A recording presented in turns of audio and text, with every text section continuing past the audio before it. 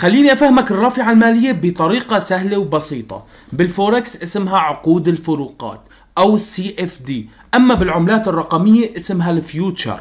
بالفوركس بيكون شكله واحد على 200 أو واحد على 500 وممكن توصل واحد على 2000 أما بالعملات الرقمية بيكون كمية الرافعة اسمها ال leverage بيكون على شكل 1 X ممكن يوصل لل 5 X وفي بعض المنصات ممكن يكون عالي ممكن يوصل لل 100 X. كل ما زادت الرافعة المالية زادت قدرتك الشرائية يعني لو حابب أنت تفتح صفقة ب 1000 دولار وكانت رافعتك المالية واحد على 100 أنت بحاجة فقط بمحفظتك ل 10 دولار حتى تقدر تنفذ هاي الصفقة. كل ما زادت الرافعة المالية كل ما قل المبلغ اللي أنت مطلوب بحسابك حتى تقدر تفتح هاي الصفقة لو معك أنت 100 دولار وفتحت أنت صفقة فقط ب 10 دولار استعملت 10 دولار من حسابك.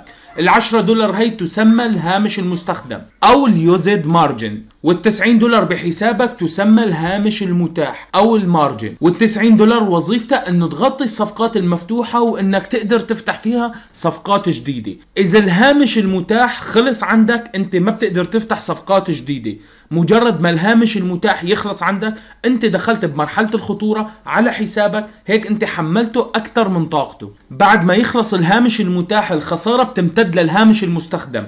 أول ما يخلص الهامش المستخدم للأسف راح يتم أقفال صفقاتك بشكل أوتوماتيكي. يعني أول ما تخلص ال 90 دولار أنت داخل فيها راح يبدأ ياخذ لك من ال 10 دولار يلي فتحت فيها الصفقة ومجرد انتهائها راح يتم إقفال الصفقة بشكل إجباري. الرافعة المالية سلاح ذو حدين. لازم يكون عندك خبرة كافية حتى تقدر تستعملها. مشان هيك ما تستغرب لما يكون معظم خسائر المتداولين بسبب الرافعة المالية. لأنه الرافعة المالية مثل ما بتضرب لك حسابك وأرباحك بمية كمان بتضرب لك خسائرك أيضا بمية. الخسائر بتكون موجعة وسريعة أيضا. الحساب الإسلامي شو المقصود فيه؟ هلأ الرافعة المالية لما تفتحها أنت بالعملات الرقمية أنت رح تدفع رسوم كل ست أو 8 ساعات. في عندك وقت معين رح تفتح رسوم لتبييت الصفقة.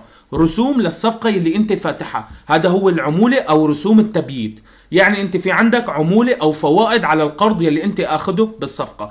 أما الحساب الإسلامي اللي بتقدمه منصات الفوركس أنت ما في عندك أي رسوم تبييت وما في عندك أي عمولة بتدفعها للمنصة. يعني مهما خليت الصفقة أنت مفتوحة يوم يومين شهر انت عندك فقط مبلغ ثابت بتدفعه للمنصة اثناء فتح الصفقة فقط أو اغلاق الصفقة. ما في عندك اي رسوم تدفعها للتبييت في العملات الرقمية الرافعة المالية أيضا في شيء اسمه cross و isolated. متبادل أو معزول. بالمتبادل أنت لما تدخل بصفقة ب 10 دولار مثلا ويبقى بمحفظتك أنت بمحفظة ال futures 90 دولار أنت بتخبره لما تدخل متبادل بتخبره أنت للمنصة إنه بعد ما يخلص ال 10 دولار أنا في عندي 90 دولار ممكن أستخدمها لتغطية خسائري وحمايتي الصفقه أما لما تدخل isolated أنت دخلت ب 10 دولار وفي عندك 90 دولار بال futures مجرد ما تخسر ال 10 دولار راح يتم إقفال الصفقة. هذا الفرق بين ال isolated وبين الكروس. بين المتبادل وبين المعزول. أتمنى أكون وضحت لك الفكرة وعرفت شو هي الرافعه المالية. أتمنى أنك ما تستعملها إلا إذا كنت صاحب خبرة وأتمنى أنك تبدأ بحسابات تجريبية بغض النظر عن النظرة الشرعية للرافعه الماليه هيك وصل نهاية الفيديو. قنواتنا التليجرام مهم جدا أنك تنضم لعائلتنا على التليجرام. استثمر عقلك. إلى اللقاء.